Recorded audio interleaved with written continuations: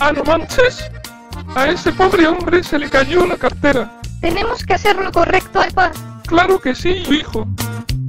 50 y 50. Va. No lo puedo creer. ¿Acaso están haciendo lo que creo que están haciendo? Mírale, no lo puedo explicar. Ese hombre trabajó día y noche por ese dinero. Y ustedes, con esas caras de imbéciles. Oye, pero tampoco te pases de burger. ¿Cuánto quieres? A mí no me van a comprar tan fácil.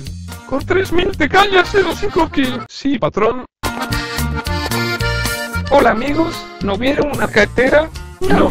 Con como 10 mil pesos. No. Color café clarito. No. ¿Cómo es la que traen en las manos? No. Ok, gracias. Espere, señor. ¿Sí? No puedo vivir con esta culpa en el pecho. Con toda la pena del mundo.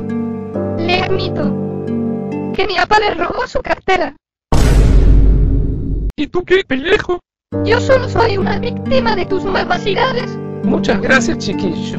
Puedes quedarte con el dinero. A hueso. Y para usted caballero, puede ir a comer mucha burger con frijol.